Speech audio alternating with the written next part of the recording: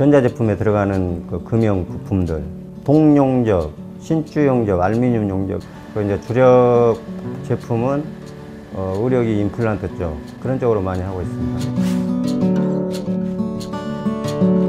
용접성이 뛰어나지 않으면은 그 기포가 생김으로 해서 이제 크랙이 발생되면 이제 떨어지면서 비밀이라든가 수밀 이런 것들이 노출되면은 에아가 샌다든가 물이 샌다든가 제품을 용접하고 난 후에 원형 그대로를 유지하면서 최상의 그 융착력을 해줌으로써 떨어지지 않고 아주 세밀하게 용접하고 있습니다.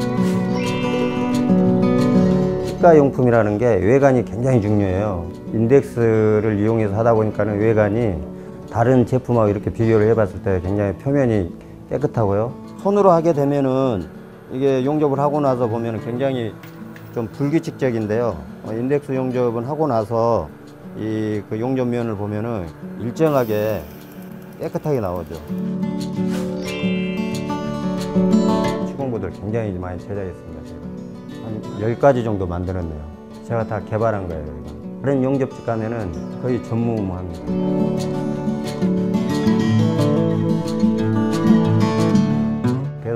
믿고 이렇게 일을 맡겨주시면 제품의 품질, 외관 이런 것들을 어, 고객 그 믿음에 반영하기 위해서 더욱더 매진하도록 노력하겠습니다.